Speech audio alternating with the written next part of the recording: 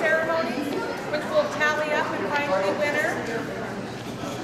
We encourage you all to come to that. Uh, and thank your instructors for letting you come today. Oh, you know what we need is, uh,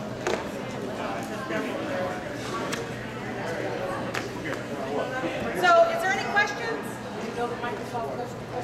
No questions? All right, then come see us Friday Friday